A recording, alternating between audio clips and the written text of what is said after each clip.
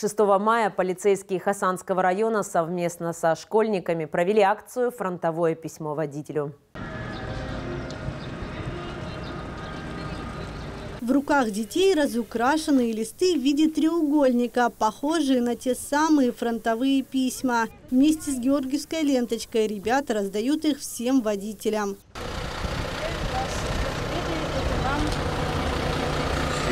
У вас также? Ученики начальных классов подготовили около 60 писем. Все выполнено своими руками. Сначала мы сочинили текст, Надежда Алексеевна его распечатала. Э, На уроке ЗО мы нарисовали рисунки, и на уроке технологии мы сделали конверты.